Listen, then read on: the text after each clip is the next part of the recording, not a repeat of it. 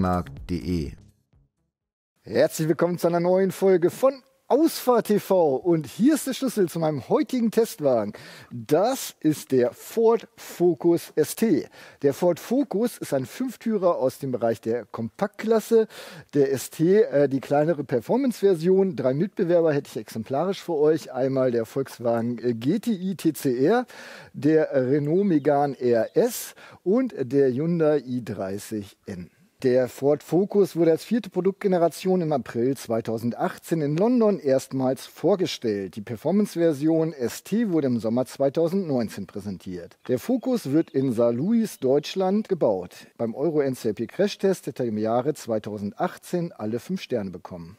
Ford bietet den Focus ST zu einem Basislistenpreis von 32.200 Euro an. Unser Testwagen äh, mit dem Designpaket und allen weiteren Optionen, hat einen Listenpreis von 39.630 Euro. Ich habe den Testwagen wie immer für euch nachkonfiguriert. Die Konfiguration findet ihr auf unserer Homepage. Den Link zur Homepage unten im Videobeschreibungstext. Direkt über diesem Link findet ihr einen weiteren Link zu unserem Partner leasingmarkt.de. Wenn ihr da draußen also darüber nachdenkt, ein Fahrzeug zu leasen, dann solltet ihr auf jeden Fall bei leasingmarkt.de vorbeischauen. Die haben nämlich immer die besten Leasingangebote, egal ob nun für Privat oder für Gewerbe, über alle Marken, durch alle Segmente. Schaut einfach mal vorbei bei leasingmarkt.de. Der 2020 Ford Focus ST 2,3 Liter EcoBoost hat einen 2,3 Liter reinen Vierzylinder unter der Haube. Dieser leistet 280 PS und ein maximales Drehmoment von 420 Newtonmeter, welches zwischen 3000 und 4000 Umdrehungen pro Minute anliegt. Geschaltet wird mittels 6-Gang Handschaltung. Der Ford Focus ST hat stets Frontantrieb. Unser Testwagen beschleunigt von 0 auf 100 in 5,7 Sekunden. Die Höchstgeschwindigkeit liegt bei 250 km/h. Der Durchschnittsverbrauch laut Hersteller beträgt 7,9 Liter auf 100 Kilometer bei einem CO2-Ausstoß von 179 Gramm pro Kilometer. Das sind Neftswerte. WLTP 8,2 Liter bei 187 Gramm pro Kilometer. Voll betankt mit 52 Litern Super kommt man im Idealfall 650 Kilometer weit. Optional kann man den Ford Focus ST auch als Diesel und als Kombi bestellen. Ford bietet den Focus bei uns in Deutschland in neun Ausstattungslinien an. Äh, die beiden sportlichsten aktuell sind ST und ST mit Designpaket. Wir haben also hier die allerhöchste und sportlichste ST mit Designpaket. In der Basis wird der Ford Focus mit Halogenscheinwerfern ausgestattet und ausgeliefert. Auch übrigens der Ford Focus ST. Wir haben aber hier die optionalen Voll-LED-Scheinwerfer und die kommen dann auch in Verbindung mit den Nebelscheinwerfern. In der Basis steht der Ford Focus auf 16 Zoll Stahlfelgen, äh, der ST dann auf 18 Zoll Alufelgen. Äh, durch das Styling-Paket ist unser Fahrzeug aber mit diesen 19 Zöllern ausgestattet und wir haben auch die roten Bremssättel. Wir haben eine Bodenfreiheit von 120 Millimetern und Ford bietet den ST in sieben Farben an. Unsere Farbe, die ich persönlich wunderschön finde, nennt sich Tropical Orange Metallic.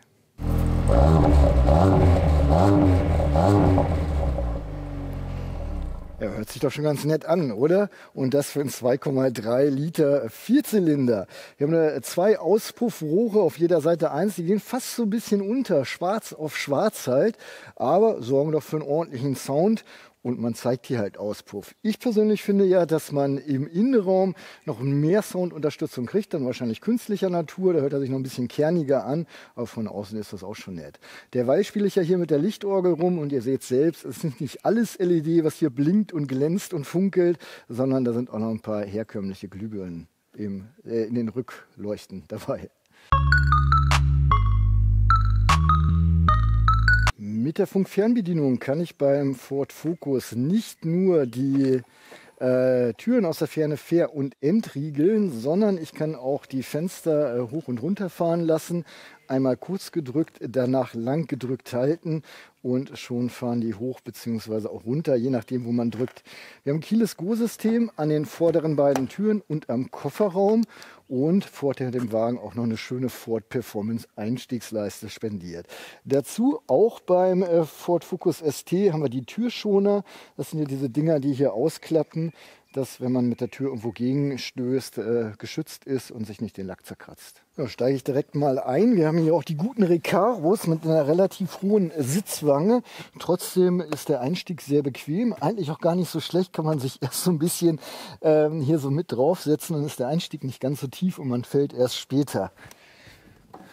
Herzlich willkommen im Innenraum hier vom Ford Focus ST äh, mit dem äh, Style Styling Paket. Äh, ja, guckt einmal bitte in die äh, Konfiguration, die auf der Homepage verlinkt ist. Äh, dann seht ihr, was ihr hier noch extra zahlen müsst. Ich fange gleich an mit dem Materialcheck. Das Armaturenbrett hier ist weich. Vorne allerdings äh, mit hartem Kunststoff versehen und hier die kleine Scheibe vom Head-Up-Display, das drumherum ist halt auch harter Kunststoff. Dann äh, haben wir hier eine Applikation. Sieht so ein bisschen carbonartig aus und darunter ist es dann auch noch mal weich. Erst äh, hier das, der Deckel vom Handschuhfach, da haben wir dann harten Kunststoff. Ich in den Fußraum gucke, unten Teppich, harter Kunststoff und hier so ein bisschen Kunstleder. Hier weiter oben ist dann aber wieder harter Kunststoff. Und wenn wir uns das alles mal im Schwenk angucken, harter Kunststoff, harter Kunststoff, harter Kunststoff, bis dann zur Mittelarmlehne. Da haben wir wieder Kunstleder. Die äh, schönen Sitze, Kunstleder und was ich gut finde, Kunstfaser auf der Sitzfläche. Das gibt dann nochmal extra Seitenhalt. Im Übrigen auch mit so einem hübschen ST-Logo. In den Türen oben wieder ein weiches Material. Das zieht sich auch hier rum. Hier haben wir nochmal ein bisschen diese Applikation ein bisschen Kunstleder, Kunstleder und unten die Türtasche ist dann harter Kunststoff. Das gilt auch für die A-Säule. Der Himmel ist dann mit Stoff bezogen und ganz leicht unterschäumt. Herr Ford hat ja nicht unbedingt einen Premium-Anspruch, das ist ein kompaktes Fahrzeug. Äh, ich finde schon, dass sie bei der Materialwahl hier ähm, Sorgfalt haben walten lassen. Das ist schon alles ganz ordentlich. Ich mag diese, diese Applikation hier und das passt auch alles im sportlichen Auto.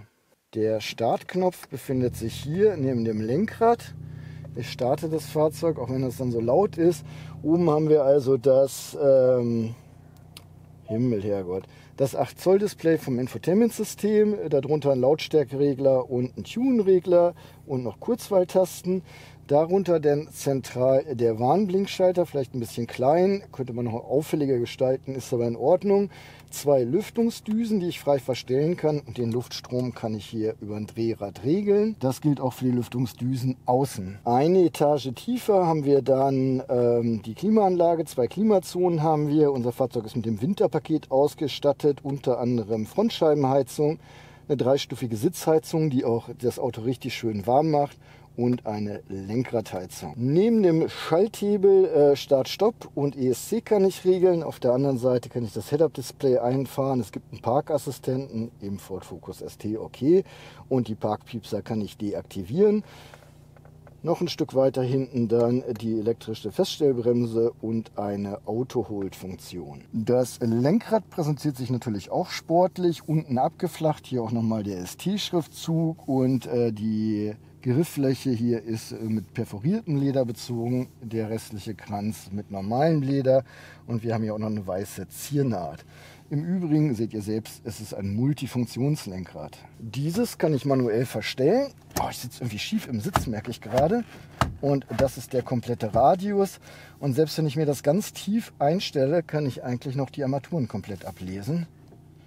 Zumal, wenn ich das Head-Up-Display hier habe, dann ist mir das eigentlich auch relativ egal. Komm, ziehen wir ruhig ein bisschen raus. Die Lenkradbelegung links im oberen Teil haben wir Speedlimiter und adaptiven Tempomaten. Im unteren Bereich das Infotainment-System. Auf der rechten Seite dann unten wieder Infotainment-System und hier habe ich die Fahrmodi, dazu die Steuerung vom Bordcomputer. Und wichtig, damit schalte ich sofort in Sport und hiermit kann ich durch die äh, Modi durchwählen. An der Längssäule rechts dann der Scheibenwischerschalter für die Scheibenwischer vorne und hier äh, die Wippe hinten. Auf der anderen Seite dann Blinker, Lichthupe, Fernlicht und ich habe hier noch einen Taster für den Spurhalteassistenten. Links neben dem Lenkrad der Lichtschalter hier, die Cockpitbeleuchtung und Nebelschlussleuchte und Nebelscheinwerfer. Vor dem Türgriff habe ich hier die Wippe für die Zentralverriegelung und in der Erweiterung der Armlehne dann die vier elektrischen Fensterheber. Äh, die kann ich hier auch sperren. Die Spiegelverstellung und die Spiegel kann ich auf Knopfdruck auch anklappen lassen. Den Motor kann ich wieder ausstellen. Ich bin 1,80 Meter groß, presse mich mal hier in den Sportsitz. Der ist in der tiefsten Einstellung und ich habe noch mehr als eine Faust Platz zwischen meinem Kopf und den Himmel. Der Fahrersitz ist elektrisch verstellbar. Ich kann den vor- und zurückfahren hoch und runter. Und äh, dazu habe ich noch eine Lordose-Stütze, die ich ein- und ausfahren kann, aber nicht in der Höhe verstellen. Und natürlich die Lehnenverstellung habe ich gezeigt. Ne? Vor allen Dingen, was ich gut finde, äh, die Kopfstützen kann ich auch ausziehen ein Stück weit. Meistens haben die Sportsitze ja integrierte Kopfstützen, bin ich nicht so ein Fan von. Ja, die Sitze ähm, finde ich sehr lobenswert. Auf der einen Seite äh, ist es ein sportlicher Sitz natürlich. Ich habe eine perfekte äh, Führung im Sitz, sowohl im oberen als auch im unteren Bereich kann ich kaum rausrutschen. Äh, ich bin ja schon ein bisschen korpulenter, trotzdem kann ich hier sehr bequem drin sitzen und tatsächlich bequem. Also ich finde die Sitze wirklich bequem. Wie so ein Sessel im Prinzip, der sich an deine Form anpasst. Und so habe ich nicht nur einen perfekten Seitenhalt, sondern auch noch was Bequemes bei dem doch recht straffen Fahrwerk, was der Ford Focus ST hat. Dann starte ich den Motor nochmal. Seht ihr einmal die komplette Lichtorgel. Wir haben also erstmal zwei Rundinstrumente, den Drehzahlmesser auf der einen Seite, den Tacho auf der anderen Seite und unten Tankanzeige und Kühlwassertemperaturanzeige. Im oberen Bereich dann der Bordcomputer, der sich hier auch schon meldet. Ganz oben die Außentemperatur, ein bisschen tiefer das Tempolimit und da meldet sich dann auch noch der Spurhalteassistent. Dann kann ich hier durchschalten. Die digitale Geschwindigkeit kann ich mir unter anderem ansehen. Fahrassistenzsysteme, ach, ihr könnt ja selber sehen, darum schalte ich ja durch. Einstellungen gibt es auch nochmal, da könnten wir vielleicht einmal reindrücken.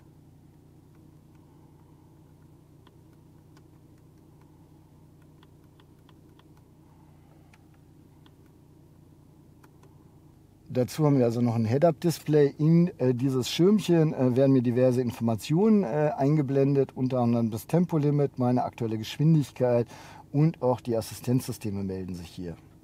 Und es gibt hier sogar eine Einstellung, da kann ich euch einmal alles zeigen, was das Display euch anzeigen kann. Dann mache ich gleich weiter mit dem Rundumblick. An der B-Säule kann ich vorbeisehen. Die A-Säulen sind schon nicht zierlich. Ne? Das darf man hier nicht verwechseln. Je nachdem, wie tief man sitzt, könnte das schon ein bisschen hakelig werden. Da seid ihr. B-Säule okay. Und äh, die C-Säule ist auch auf jeden Fall äh, ein klitzekleiner toter Winkel, macht aber gar nichts. Denn wenn wir den Schulterblick starten, gucken wir zuerst in den Außenspiegel. Die Spiegelfläche ist auch ja, okay. Könnte eigentlich noch ein bisschen größer sein für das kompakte Fahrzeug. Ist eher so Kleinwagenniveau, finde ich. Hat mich aber nicht gestört bei meinen Fahrten. Ich konnte alles gut sehen. Ein Blick in den Innenspiegel und ich sehe die komplette Heckscheibe. Ähm, ja, und da kann ich auch den rückwärtigen Verkehr gut im Auge behalten. Dazu haben wir hier in unserem Testwagen auch noch eine Rückfahrkamera. Die Linien bewegen sich mit. Und ich habe hier auch noch die Möglichkeit äh, rein zu zoomen, ne? Anhängerbetrieb. Und habe hier noch so eine andere Aufsicht. Und da melden sich dann auch noch die äh, Sensoren hier, die Abstandssensoren. Ja, das Bild ist auch gar nicht schlecht, durchaus scharf und auch äh, von den Farben her finde ich es in Ordnung. Äh, das soll es gewesen sein. Halt, stopp, bevor ich ausmache, der Hupencheck noch. Ne? So hört sich die Hupe an im Ford Focus ST. Dann äh, mache ich gleich weiter mit dem Ablagencheck hier. Ich zeige euch also die ganzen Ablagen im Fahrzeug. Beginne hier in den Türtaschen. Die gehen übrigens noch ein ganzes Stück weiter bis hierhin. Da kann ich zum Beispiel noch äh, Warnwesten verstauen. Ich habe hier meine halbe Liter Flasche Y-Food. Das ist ja mein Partner. Geschmacksrichtung äh, Crazy Coconut, eine halbe Liter Flasche. Das Zeug hat dann 500 äh, Kalorien, macht mich vier Stunden satt und ihr könnt es auch bestellen. Dafür der Gutscheincode, spart ihr ein bisschen was. Der halbe Liter passt hier gut rein. Bisschen größer dürfte die Flasche schon noch sein, aber nicht wesentlich größer, sonst kann man sie hier schlecht rausnehmen. Links neben dem Lenkrad ein kleines Fach, das ist alles harter Kunststoff, aber da kann ich halt auch noch Sachen verstauen. Vor dem Gangwahlhebel habe ich dann hier einmal die Ablage für ein äh, Smartphone, da kann das auch induktiv geladen werden. Und äh, daneben eine weitere rutschfeste Fläche, davor dann USB-Anschluss, falls das mit dem induktiven Laden nicht klappt und auch noch ein 12 Volt Anschluss. Hier habe ich äh, eine Schublade, kann ich auf und zu machen. Äh, da drin sind variable Halter, die kann ich halt verstellen und sagen, ich nutze das als Getränkehalter und passe mir das so an, dass der halbe Liter jetzt hier sitzt und wackelt. Und wenn man das sieht, da werden auch 0,75 äh, Liter Flaschen reinpassen. Oder aber man nimmt die Teile ganz raus, weil wir haben unten auch eine rutschfeste Matte und nutzt das einfach nur als Staufach. Äh, dann daneben gibt es auch noch ein äh, kleines Staufach, da passt der Schlüsselhalter perfekt rein. Und man sieht es hier vielleicht auch ein bisschen Ambient Light kommt hier schon zum Tragen. Die Mittelarmlehne kann ich nach vorne und hinten schieben. Wenn ich sie nach hinten geschoben habe, kann ich sie dann auch öffnen. Hier gibt es dann noch einen weiteren USB-Anschluss und ein Fach. Da könnte ich jetzt, nee, das passt nicht. Also es vielleicht wenn ich mittig stelle. Ja, mittig geht es dann gerade so. Also so einen halben Liter kriegt ihr da gerade eben so rein, aber nur wenn ihr diese Aussparung hier nutzt als Deckel. Das Handschuhfach haben wir hier. Das ist auch schummerig beleuchtet. Im oberen Bereich haben wir dann das Bordmaterial in Form einer Tasche und im unteren Bereich noch jede Menge Platz für andere Sachen. In der Sonnenblende ist ein Make-up-Spiegel integriert. Der wird von außen beleuchtet. Schummeriges Licht, Spiegelfläche begrenzt durch die beiden Lampen dann doch relativ klein. Und hier außen habe ich dann noch so ein Gummiband, da kann ich Tickets reinklemmen oder aber auch äh, die Rettungskarte. Die Sonnenblende kann ich auch zur Seite klappen. Hier behalte ich aber noch einen Bereich, wo die Sonne von der Seite aus einfallen kann. Und im oberen Bereich habe ich dann Haltegriffe. In der Dachkonsole habe ich Leseleuchten für Fahrer und Beifahrer. Das ist aber auch dann zusammen schon die Einstiegsbeleuchtung. Ja, und damit bin ich durch. Ich habe euch alles gezeigt. Ich glaube, ihr habt selbst gesehen, ein bisschen Ablagemöglichkeiten haben wir hier und da für einen kompakten durchaus in Ordnung. Es ist jetzt hier kein Platzwunder, aber es würde mir persönlich schon reichen. Dann zeige ich euch einmal noch äh, rudimentär das äh, Infotainment-System.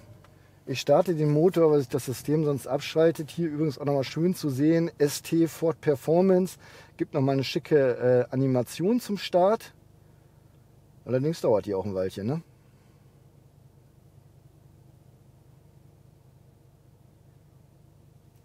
Und dann meldet sich das System. Das lassen wir mal ungeschnitten drin, damit ihr das auch seht und erfahren könnt und erfasst. Es ist also ein 8 Zoll Display als Touchscreen. Wir haben hier eine Home-Taste und ich habe immer das Gefühl, man müsste öfter drücken.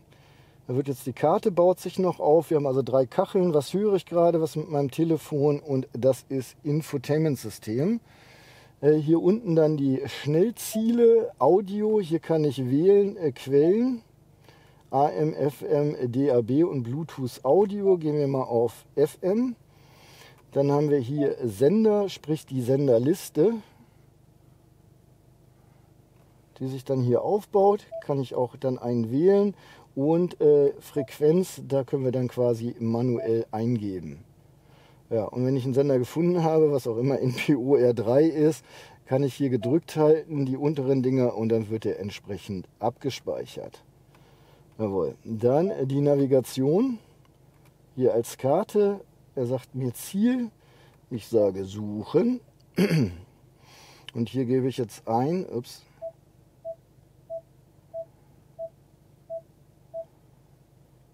Werther Straße 42. Schrift ist ganz schön, finde ich. Bielefeld. So, und jetzt sucht das Ganze bitte auch.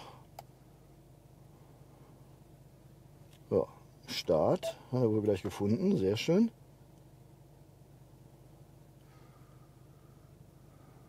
Ja, ja. Bitte fahren Sie zur markierten Route, dann beginnt die Routenführung. Oh, jetzt wird das auch mal ein bisschen heller. Ich hatte Licht an, weil es ja draußen schon so schummerig ist. Äh, Route hat er erkannt. Um 21.08 Uhr bin ich da. 58 Minuten, 83 Kilometer. So ist das. Äh, dann Nordwest. Nein, hier kann ich nichts machen. Steuerung will ich eigentlich auch nicht. Kann ich mir hier noch das Menü anzeigen lassen und da die Route abbrechen. Jawohl, brich ab. Dann habe ich hier am Lenkrad ja noch die Spracherkennung. Im Kommando bitte. Adresse suchen. Nennen Sie die Stadt, gefolgt von der Straße und der Hausnummer. Wenn Sie in einem anderen Land suchen möchten, sagen Sie Land ändern. Bielefeld, Wertherstraße 42. Wenn Sie bereit sind, betätigen Sie die Sprachtaste und sagen Sie als Ziel einstellen. Oder sagen Sie Ende. Als Ziel einstellen. Das Ziel wird eingestellt. Ja, und jetzt haben wir das wieder genauso wie vorher. Dann haben wir hier noch die Einstellungen, unter anderem die Klangeinstellungen. Ja, da hat er gestottert. Ein dreistufiger Equalizer, ein Fader und den Klangmodus kann ich noch zwischen Surround und Stereo ähm, wählen. Ja, mir persönlich ist das System einfach zu träge, aber ich bin auch ein sehr ungeduldiger Mensch. Äh, andere Leute mögen damit wahrscheinlich besser klarkommen als ich. Äh, was ich okay finde, äh, bis gut, ist das B&O Premium Soundsystem. Sowohl Höhen und äh, Mitten sind äh, zu differenzieren, auch wenn man ein bisschen lauter hört. Das ist jetzt nicht ganz großes Kino, aber schon ordentlich und brauchbar.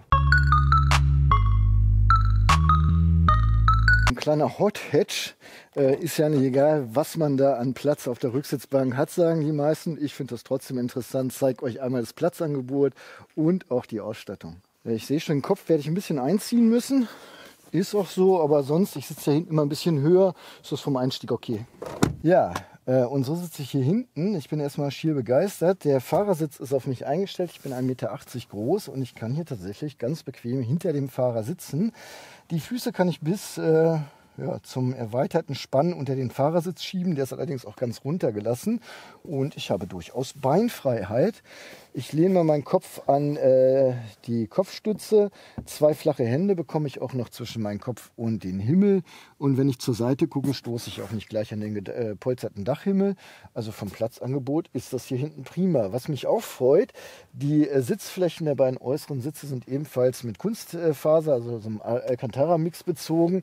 Und somit habe ich hier hinten auch ein bisschen Seitenheit, auch wenn die Sitze hinten gar nicht so ausgeformt sind. Wir haben elektrische Fensterheber mit getönten Scheiben, die sind optional. Die Fenster versenken sich auch vollständig. Ja, dann gucken wir uns gleich nochmal die Ausstattung an. Alper Bübsch, noch eine Y-Food-Flasche, nein, ist die gleiche. Also einen halben Liter bekomme ich hier gut rein. Größere Flaschen sehe ich hier nicht unbedingt.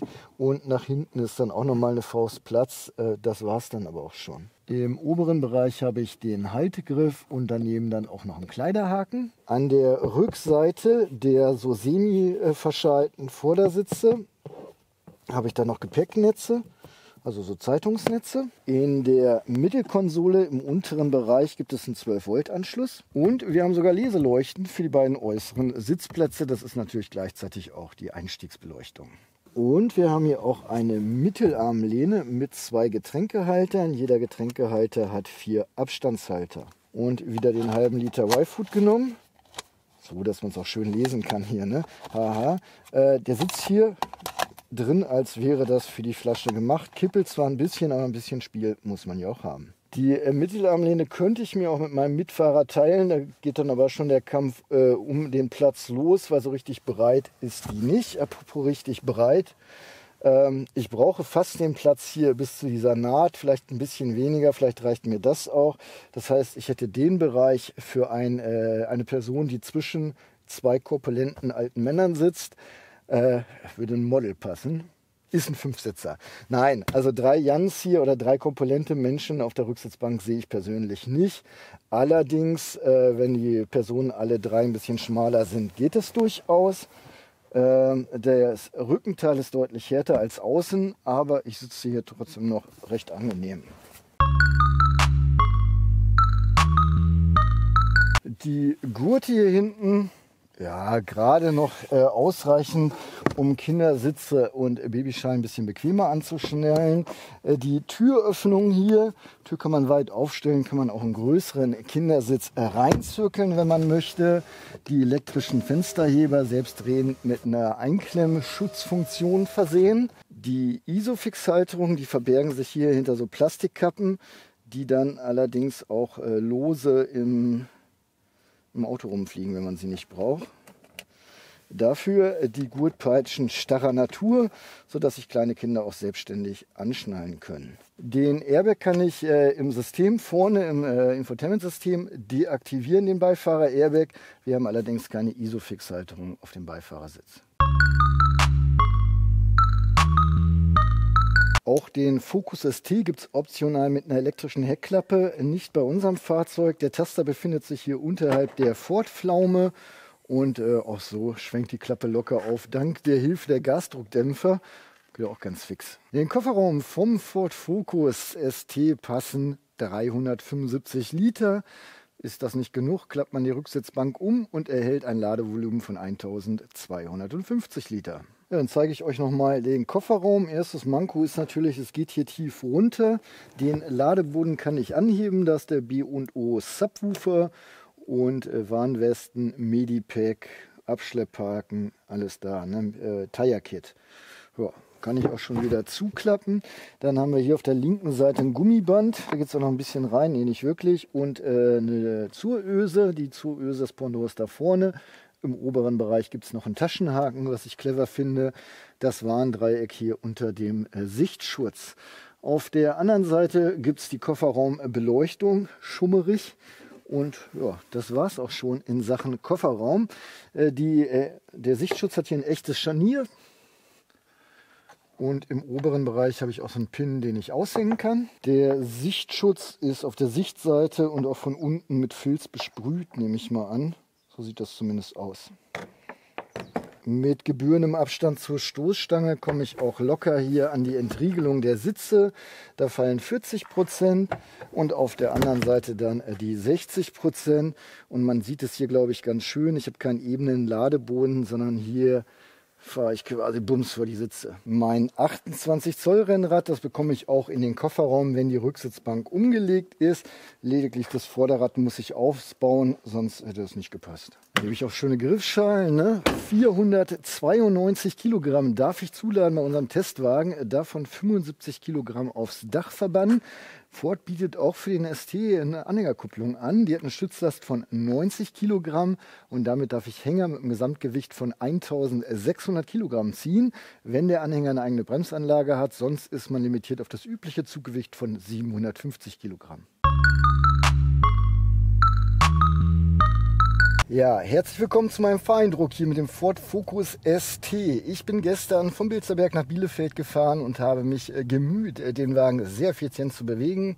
Schön verhalten gefahren auf der Autobahn, maximal 135. Sonst da, wo was erlaubt war, äh, bin ich das eben gefahren auf der Landstraße und habe mich aber bemüht, auch immer sehr sanft zu beschleunigen und komme nach 102 Kilometer auf einen Durchschnittsverbrauch von 7,7 Liter. Ich bin auch heute Morgen von zu Hause hier ins Feld gefahren bei kalten Temperaturen, habe den Verbrauch trotzdem halten können und bin damit 0,2 Liter unter dem Neftswert sogar. Kann man machen. Es geht, aber es ist schon brutal hart, weil das Auto nun mal auch Spaß macht. Und wenn man sich da selbst so kasteit, äh, ja, ist halt immer schwierig. Ich äh, drehe mal hier an der Kraxer Straße Rückfahrkamera ist auch am Start und werde hier aber ein bisschen hin und her drehen müssen, denn das ist alles nicht ganz so einfach, Kinder. Äh, die Lenkunterstützung äh, im Stand ist okay, eine Umdrehung und das war es dann auch schon. Das heißt zwei äh, Umdrehungen von Lenkanschlag zu Lenkanschlag und wir haben hier einen Wendekreis von 11,3 Meter. Ja, ich habe hier, äh, das habt ihr gesehen, auf dem Lenkrad eine Sporttaste. Die kann ich drücken, komme sofort ins Sportprogramm. Da sieht man auch die anderen Modi. Äh, Rennstrecke lasse ich aus. Rutschig ist es nicht. Normal bin ich die ganze Zeit gefahren. Ich schalte also jetzt mal in Sport. Und weil wir diese Anzeige jetzt auch erst nicht mehr brauchen, äh, gehe ich dann auch mal in die äh, Tacho-Ansicht. Dann habt ihr unten immer schön den Drehzahlmesser und auch die äh, digitale Geschwindigkeit. So, die Angst des Torwarts äh, vom Elfmeter quasi. Äh, Jan muss selbst schalten beim Beschleunigungstest. Äh, Launch Control lasse ich weg, brauche ich auch nicht, sondern ich starte einfach so.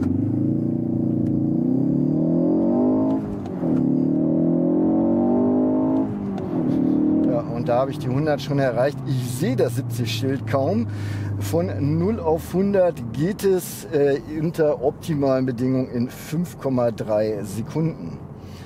Jetzt hier einmal die Autobahndurchfahrt, wo ich so ein bisschen äh, Schatten habe. Da solltet ihr sehen, Die Schalter sind beleuchtet in so einem Blau und es gibt auch einen Hauch von Ambient Light. Ja, geschaltet äh, wird mit der Hand. Sechs Gänge habe ich zur Verfügung. Äh, schöne kurze Schaltwege, eine sehr präzise Schaltkulisse auch. Ähm, die Möglichkeit, zu, sich zu verschalten, sehr gering. Und hier im äh, Sportprogramm, ich weiß nicht, ob ihr das hört, auch mit so einer Zwischengasfunktion. Ich gehe jetzt aber wieder zurück erstmal in Normal. Äh, auch wenn sich das nicht aufs Fahrwerk auswirkt. Äh, meine Fahrwerkstrecke hier, ich gehe mal auf 55. Das ist schon ein äh, sehr sportlich eingestelltes Fahrwerk, so soll es auch sein. Ich spüre ähm, die Dehnungsfügung sowohl im Sitz als auch leicht im Lenkrad. Und äh, jetzt hier in den Wellen in der Straße, auch die spüre ich sehr schön. Äh, macht beim sportlichen Fahrzeug ja auch Sinn. Ich sag mal so, Restkomfort ist eher nicht gegeben im Ford, Ford Focus ST. Äh, wäre mir auf Dauer wahrscheinlich ein bisschen zu straff das Ganze. Aber zum dynamischen Fahren ist es natürlich eine Wonne. Und äh, wer das nicht haben will, der muss sich natürlich auch kein Ford Focus ST kaufen, sondern einen normalen äh, Focus. Da ist das Fahrwerk dann halt ein bisschen äh, komfortabler durchaus abgestimmt. Hier haben wir jetzt aber eine Wuchtbrumme, einen Sportwagen, äh, ein Hot Edge sozusagen. Und bei dem finde ich das auch voll vertretbar, wenn das halt ein bisschen härter zur Sache geht. Ne? Man will es ja auch so haben. Ich bremse hier mal zughaft, äh, zaghaft runter. Bremse kann man auch fein dosieren, die kann aber auch gut äh, zupacken. Wir haben vorne Bremsscheiben äh, mit einem Durchmesser von 330 mm, hinten immer noch äh, 302 mm. Große Bremse macht aber auch Sinn. Es gibt sogar Start-Stopp hier im normalen Fahrprogramm, ähm, denn wir haben ja 1,5 Tonnen, die wir mit 280 äh, PS vorwärts beschleunigen können. Und da möchte man natürlich auch eine Bremse haben, auf die man sich verlassen kann. Ich bin den Wagen äh, wie kein anderes Auto natürlich nicht auf der Rennstrecke gefahren, kann euch also nichts dazu sagen, ob die dauerhaft standhält. Im normalen Straßenverkehr macht die einen sehr guten Eindruck auf mich. Ja, los geht's. Ich bemühe dann doch nochmal das Sportprogramm. Ja, und das ist jetzt hier eigentlich schon Höchststrafe mit dem Laster vor mir, dass ich die Kurve nicht wenigstens nochmal schön mitnehmen kann. Aber so ist das halt im wahren Leben. Ne? Äh, zumindest mal probiert. So, und jetzt beschleunige ich mal durch.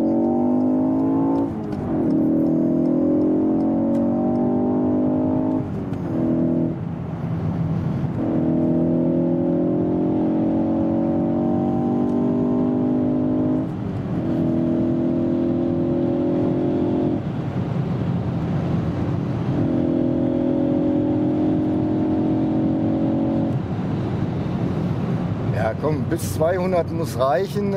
Ich glaube, es zeigt euch schon, äh, wie das hier funktionieren kann, äh, wenn man mal Gas gibt. Schauen wir uns erstmal äh, den, die Lautstärke im Auto an. Ich gehe wieder zurück auf Normal. Bei 100 km/h dreht der Wagen bei 2200 Umdrehungen keine Windgeräusche. Den Motor höre ich natürlich so ein bisschen, aber auch nicht zu laut. Nur so, dass ich weiß, das Tier könnte ich jederzeit wecken. 120 im sechsten Gang bei 2800 Umdrehungen. Die Windgeräusche setzen jetzt langsam ein. Den Motor höre ich aber immer noch so ein bisschen in der Tiefe grollen. Das ist eigentlich sehr angenehm. 140 jetzt bei äh, 3100 Umdrehungen. Das Geräuschniveau immer noch sehr angenehm. Ich kann mich noch normal mit euch unterhalten. Ähm, die Windgeräusche haben leicht zugenommen. Das Motorgrollen auch so ein bisschen. Und das Schöne ist halt, sobald ich dann wieder ein bisschen Gas aufnehme, höre ich den Motor nochmal präsenter. 160 bei 3500 Umdrehungen kann man immer noch fahren äh, als Reisegeschwindigkeit, sich auch immer noch normal mit seinem Nachbarn, Sitznachbarn unterhalten. Äh, die Windgeräusche sind ein bisschen stärker, tragen jetzt auch immer mehr das Motorengeräusch äh, davon. 180 dann bei 4000 Umdrehungen. Jetzt fange ich aber doch schon mal an, meine Stimme zu heben, weil das Grollen lauter geworden ist. Die Drehzahl macht sich jetzt auch äh, klangtechnisch bemerkbar oder lautstärkentechnisch. Die Windgeräusche gehen da fast so ein bisschen unter.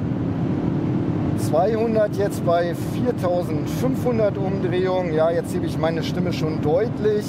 Ähm, aber selbst das, äh, nee, eigentlich nicht. Also als Reisegeschwindigkeit 180 noch vollkommen okay. 200 wäre mir, glaube ich, schon ein bisschen laut. Kann man aber auch sehr entspannt fahren. Ähm, die Lenkung ist ja schon sehr direkt. Das Fahrwerk ist sehr straff. Trotzdem kannst du das Auto auf der Autobahn bei 200 noch sehr entspannt beherrschen. Das ist also hier kein Rumgehoppel. Ähm, du solltest halt bloß ähm, wilde Lenkbewegungen vermeiden, aber das sollst du ja eh bei hohen Geschwindigkeiten. Ja, das Problem beim Fokus ist halt, ähm, dass du durchaus länger brauchst, um von A nach B zu kommen. Es ist einfach so. Weil stell dir mal vor, du willst gerade mal Milch holen fahren und willst jetzt hier auf die Autobahn und denkst dir, im Moment mal, zwei Kreisel direkt nebeneinander, das geht ja gar nicht. Ne? Das muss ich mir aber noch mal angucken und schwuppdiwupp hängst du schon wieder auf dem Rückweg und sagst, ja Mensch, den nehme ich halt auch noch mal mit. Ne? Und während du jetzt hier diesen zweiten Kreisel noch mal bemühst und dir denkst, ah, das macht schon Spaß, ne? bist du natürlich versucht zu sagen, hm, eigentlich habe ich gar nicht mehr, weiß ich gar nicht mehr, wie der da hinten aussah, der Kreisel. Na gut, dann fahre ich den halt doch nochmal, weil es halt äh, so ein bisschen Spaß macht. Und schwuppdiwupps bist du gefangen in so einer Zeitschleife hier, wo du nur noch ein Kreisel nach dem anderen fährst und dich daran erfreust, wie schön dein Fahrzeug durch die Kurven geht. Und äh, ja, das macht halt eine Menge Spaß. Was soll ich sagen, Kinder? Was ich eben bei meiner spaßigen Kurvenfahrt gar nicht erwähnt habe, ist natürlich, dass ich einen bombigen Seitenhalt hier in den Sitzen habe. Ich finde die nicht nur sehr sportlich, dass ich hier einen super Seitenhalt habe, sondern dazu auch noch echt bequem. Also ich sitze gerne in diesem Auto, plus die Sitzheizung funktioniert auch noch hervorragend. Was will man denn mehr? Ne? Genauso soll es doch sein. Das maximale Drehmoment von 420 Newtonmeter liegt ja zwischen äh, 3 und 4000 Umdrehungen an. Im sechsten Gang jetzt einfach mal nur Gas gegeben. Ich bin noch nicht mal im Sport, sondern nur in normal unterwegs. Und da seht ihr, wie ich hier wunderschön rausbeschleunigen kann. Und äh, ihr könnt euch auch denken, was heißt denn denken? Also machen wir doch gleich hier mal in Sport nochmal. Und jetzt spielen wir das Ganze nochmal mit dem vierten.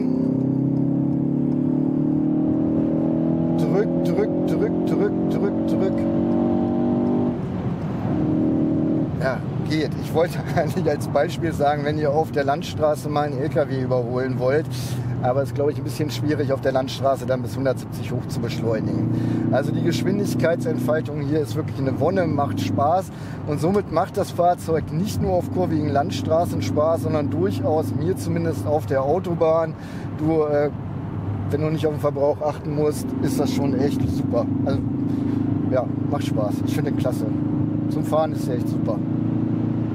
Ja, da kann ich jetzt noch was zum Verbrauch sagen. Ich bin jetzt quasi schon am Bilsterberg wieder angekommen, habe meine 200 Kilometer voll gemacht. Ähm, der Neftsverbrauch wird mit 7,9 Litern angegeben, WLTP mit 8,2. Ich bin jetzt hier äh, meine Durchschnittsrunde gefahren mit äh, 9,2 Liter. Das halte ich auch für einen relativ realistischen Wert. Ich bin effizient mit dem Auto auch gefahren, äh, komme auf einen Wert von 7,7 und ich habe den mal richtig getrieben. Da bin ich dann bei 15,2 Liter. Also ihr bestimmt quasi, das macht ihr ja sowieso immer, wie viel ihr verbraucht und es geht halt wirklich von unter Nefts äh, bis nach oben offen. Ähm, zusammenfassend kann ich sagen, das Auto ist durch und durch ein Spaßfahrzeug. Ähm, ich würde mir den, glaube ich, nicht zulegen, wenn ich äh, öfter längere Strecken fahre. Aber ich bin ja auch ein alter Mann und ihr alle junge Küken da draußen. Und euch macht das dann mit dem Fahrwerk halt nicht so viel aus. Ich finde, ist halt schon wahnsinnig straff abgefedert. Das ist vollkommen in Ordnung. Der soll ja auch sportlich sein und er lässt sich auch hervorragend sportlich fahren auf diese Art. Unter anderem ne, kannst du es jederzeit auch mal fliegen lassen. Also das war jetzt nicht fliegen lassen, aber das ist eine echte Spaßmaschine und ich bin erstaunt, dass die sich sogar so effizient fahren lassen kann.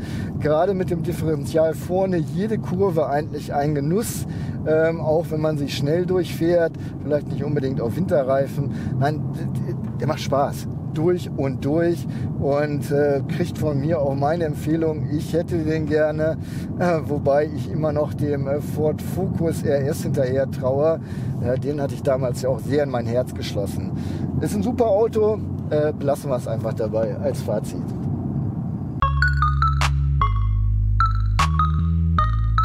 Gehen wir noch mal kurz auf die Assistenzsysteme ein. Ich stelle mal hier den adaptiven Tempomaten auf 140 ein.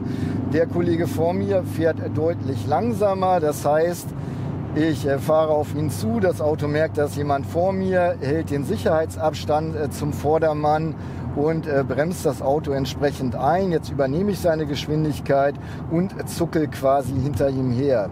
Das Problem, was der Tempomat halt hat, ist, dass er äh, eine sehr große Toleranz bei den Objekten ähm, ja, an den Tag legt, äh, die er erkennt. Wenn du nämlich jetzt ähm, hier ausscherst, beziehungsweise ich habe es anders gehabt, mal angenommen, ich äh, habe jetzt den Tempomaten gesetzt. Da vorne ist das Fahrzeug. Ich erkenne das und weiß, okay, der Tempomat wird wahrscheinlich gleich reinkicken. Setze schon den Blinker, um auf die linke Spur zu fahren. Bremst der Tempomat mich trotzdem ein, weil er da vorne halt ein Objekt gesehen hat oder erkannt hat und sagt, Mensch, das könnte irgendwie heikel oder knapp werden. Und das ist dann schon so ein bisschen nervig und hindert dich so im Fahrfluss. Der adaptive Tempomat ist ja dafür da, mich zu entlasten und nicht mich zu nerven. Und hier nervt er halt so ein bisschen. Aber ich meine, die meisten werden wahrscheinlich den eh nicht groß nutzen, sondern äh, eigenständig fahren wollen. Dazu haben wir einen äh, Totwinkelwarner, der meldet sich hier mit so einem äh, orangenen äh, Leuchtpunkt im Spiegel, ungefähr anderthalb Wagenlängen, bevor sich das Fahrzeug überhaupt in den toten Winkel schiebt. Das finde ich in Ordnung. Ja, jetzt habe ich das wieder gehabt. Er hat den Laster erkannt, geht vom Gas, obwohl ich mit großem Abstand ähm, den äh, überhole. Und das finde ich halt so ein bisschen störend. Ich meine, das ist Jammern auf hohem Niveau, aber äh, ich soll ja auch mal was sagen, was mir halt so auffällt. Äh, wir haben auch einen Spurhalteassistenten. Der sagt mir, nimm die Hände ans Lenkrad. Also ich versuche mich mal hier aus der Spur rauszukegeln. Äh, erkennt er, schickt mich auf die andere Seite. Ja, und den hat er jetzt nicht mehr erkannt, beziehungsweise sagt mir, hier Idiot, greif doch mal bitte ein. Ähm, also der gibt dir nur einen ersten Impuls, lenkt dich dann zur Gegenseite und wenn du nicht schnell genug reagierst, dann musst du halt schon ein bisschen aufpassen. Ist, denke ich, okay, so als Warnung halt. Aber ich persönlich mag ja Systeme mehr, die äh, komplett mitlenken verstehe aber, dass man sowas im Fokus ST nicht unbedingt braucht, weil die Zielgruppe ja selbstständig fahren will. Ne? Die will ja ihren Spaß haben und sich nicht von Assistenzsystemen ausbremsen lassen. Hat Ford auch ganz gut gelöst, denn den Spurhalteassistent habe ich hier äh, am Finger vom Blinker. Quasi ist ein Taster.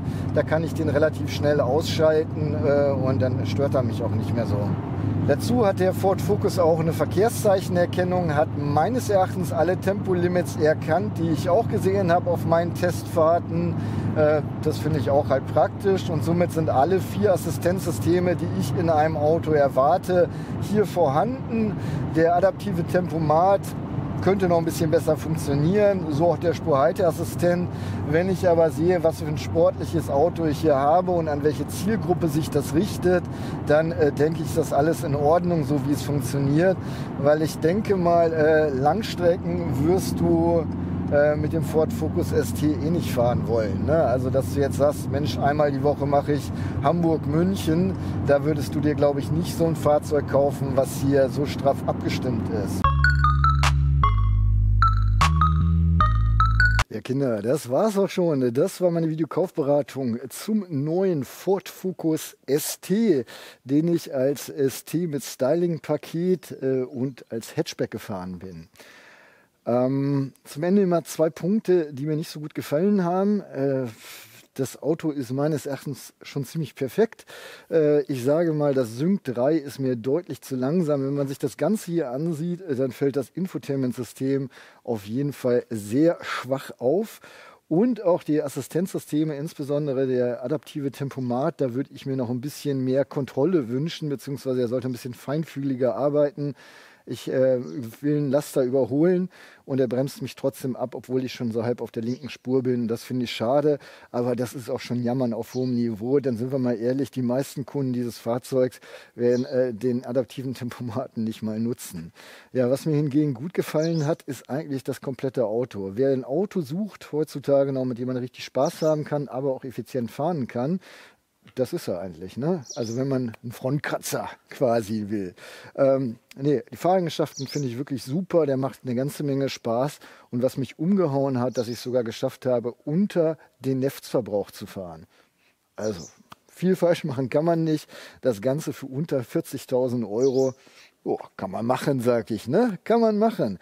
Gut, ich bin sehr gespannt auf eure Kommentare da draußen. Lasst mich doch wissen, würdet ihr 40.000 Euro für das Auto ausgeben? Wie findet ihr ihn? Schreibt es mir unten in die Kommentare, wenn euch, Video, wenn euch das Video gefallen hat. Gebt mir gerne einen Daumen nach oben, bleibt gesund da draußen. Ich verabschiede mich wie immer und sage Tschüss, bis dann, euer Jan.